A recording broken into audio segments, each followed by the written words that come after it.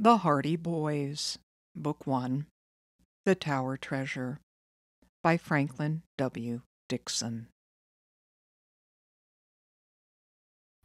Chapter 16 A Surprise. The rooms in the new tower had been furnished when it was built, but only on rare occasions when the Applegates had visitors were the rooms occupied, the owner stated. In the first one, Frank, Joe, and Mr. Applegate found nothing, although they looked carefully in closets, bureaus, highboys, and under the large pieces of furniture. They even turned up mattresses and rugs. When they were satisfied that the loot had not been hidden there, they ascended the stairs to the room above. Again their investigation proved fruitless.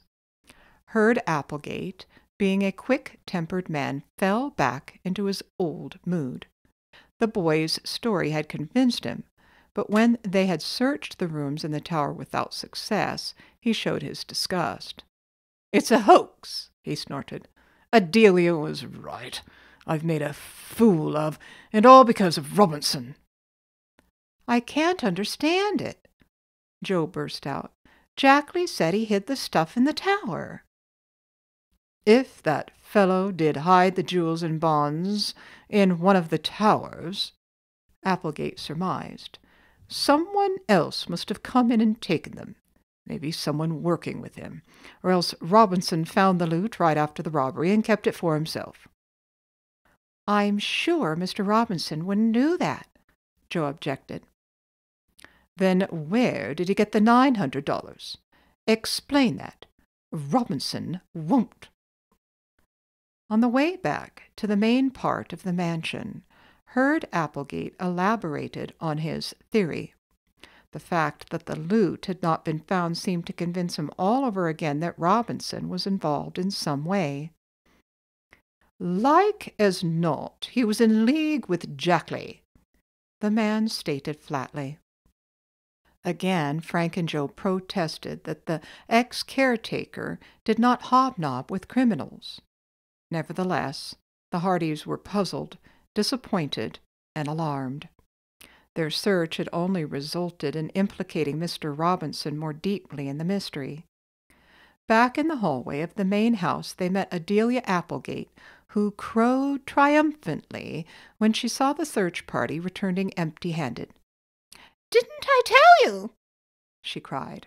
Hurd Applegate, you've let these boys make a fool of you. She escorted the Hardys to the front door, while her brother, shaking his head perplexedly, went back to his study. We sure messed things up, Frank, Joe declared as they walked toward their motorcycles. I feel like a dud rocket. Me too. They hurried home to tell their father the disappointing news. Fenton Hardy was amazed to hear that the stolen valuables had not been located in either tower. You're sure you went over the place thoroughly? Every inch of it. There wasn't a sign of the loot. From the dust in the old tower, I'd say no one had been there for ages, Frank replied. Strange, the detective muttered. I'm sure Jackley wasn't lying. He had absolutely nothing to gain by deceiving me. I hid it in the old tower. Well, those were his very words. And what could he mean but the old tower of Tower Mansion? And why should he be so careful to say the old tower? Since he was familiar with Bayport, he probably knew that the mansion had two towers, the old and the new. Of course, it may be that we didn't search thoroughly enough, Joe remarked. The loot could be hidden under the flooring or behind a movable wall panel. We didn't look there. That's the only solution, Mr. Hardy agreed. I'm still not satisfied that the stolen property isn't there. I'm going to ask Applegate to permit another search of both towers. And now I think your mother wants you to do an errand downtown. Frank and Joe were soon on their motorcycles again. When the boys reached the business section of Bayport, they found that Jackley's confession had already become known. The local radio station had broadcast it in the afternoon's news program, and people everywhere were discussing it. Detective Smuff walked along the street looking as if he would bite the head off the first person who mentioned the case to him. When he saw the Hardy boys, he glowered. Well, he grunted, I hear you got the stuff back. I wish we had, Frank said glumly. What? the detective cried out, brightening at once. You didn't get it? I thought they said on the radio that this fellow Jackley had told your father where he hid it. He did. But how did the news leak out? Jackley's door wasn't closed all the time. One of the other patients who was walking by the room heard the confession and spilled it. So you didn't find the loot after all. Ha! That's a good one. Didn't Jackley say the stuff was hidden in the old tower? What more do you need? Well, it wasn't there, Joe retorted hotly. Jackley must have made a mistake. Jackley made a mistake, Smuff continued cheerfully. Looks like the joke's on you fellas and your father. That would-be sleuth went on down the street, chuckling to himself. When Frank and Joe returned home, they found that Mr. Hardy had been in touch with Hurd Applegate and had convinced him to a more detailed search of the towers would be advisable. Boys, he said, we'll go there directly after supper. I think we'd better not wait until tomorrow. At seven o'clock, the detective and his sons presented themselves at the Tower mansion. Hurd Applegate met them at the door. I'm letting you make this search, he said as he led them toward the old tower. But I'm convinced you won't find anything. I've talked the case over with the chief Collig. He's inclined to think that Robinson is behind it all, and I'm sure he is. But uh, how about Jack Jackley's confession? Mr. Hardy asked him. The chief says that could be a blind. Jackley did it to protect Robinson. They were working together. I know it looks bad for Robinson, Mr. Hardy admitted, but I want to give the towers another close examination. I heard Jackley made the confession, and I don't believe he was lying. Maybe, maybe, but I'm telling you, it was a hoax. I'll believe that only if I don't find anything inside or outside either tower, Mr. Hardy declared, his mouth set in a grim line. Well, come on, let's get started. Hurd Applegate said, unlocking the door leading to the old tower. Eagerly the four set to work. They started at the top of the old tower and worked downward.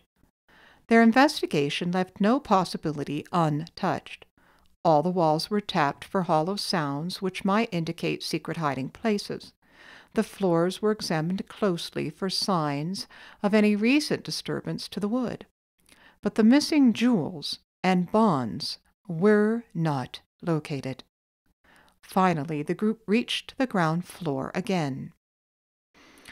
Nothing to do but go on to the new tower, Mr. Hardy commented briefly. I'll have to rest and eat something before I do any more, Hurd Applegate said wearily. He led the way to the dining room where sandwiches and milk had been set out. Help yourselves, he invited. He took only crackers and milk when they all sat down. After the brief stop for refreshment, the Hardys and the mansion owner turned their attention to the new tower. Again they searched carefully. Walls and partitions were tapped and floors were sounded. Every bit of furniture was minutely examined. Not an inch of space escaped the scrutiny of the detective and his helpers. As the search drew to a close and the loot still had not been found, Mr. Hardy remarked, It certainly looks as if the stolen property was never hidden here by Jackley. And furthermore, there's no evidence that if he did hide it here, anyone came in to take it away. You mean, said Frank, it's proof that Mr. Robinson did not come in here. Exactly. Maybe not, Mr. Applegate conceded, but it still doesn't prove he wasn't in cahoots with the thief. I'm not going to give up this search yet, Mr. Hardy said determinedly. Perhaps the loot was hidden somewhere outside the old tower. He explained that it would be difficult to examine the grounds properly at night. With your permission, Mr. Applegate, my sons and I will return at sunrise tomorrow morning and start work again. As the owner reluctantly nodded his assent, Mr. Hardy turned to Frank and Joe and smiled. We ought to be able to prove our point before school time. The boys, who had had no time to prepare any homework, reminded their father that a note from him to the principal would be a great help. The detective smiled, and as soon as they reached home, he wrote one out, then said good night. Frank and Joe felt as if their eyes had hardly closed when they opened them again to see their father standing between their beds. Time to get up if you want to be in on the search, he announced. The boys blinked sleepily, then sprang out of bed. Showers awakened them fully, and they dressed quickly. Mrs. Hardy was in the kitchen when they entered it, and breakfast was ready. The sun was just rising over a distant hill. Everything hot this morning, Mrs. Hardy said. It's chilly outside. The menu included hot applesauce, oatmeal, poached eggs on toast, and cocoa. Breakfast was eaten almost in silence to avoid any delay, and within twenty minutes the three Hardy sleuths were on their way. I see you put spades in the car, Dad, Frank remarked. I take it we're going to do some digging. Yes, if we don't locate the loot hidden above ground some place. When the Hardys reached Tower Mansion, they instituted their hunt without notifying the Applegates, who, they were sure, were still asleep. Everything in the vicinity of both towers was scrutinized.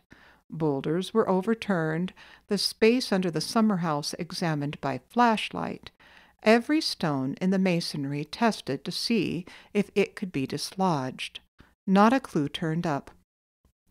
I guess we dig, Frank stated finally.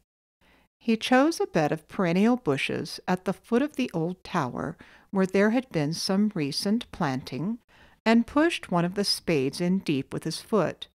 The tool hit an obstruction.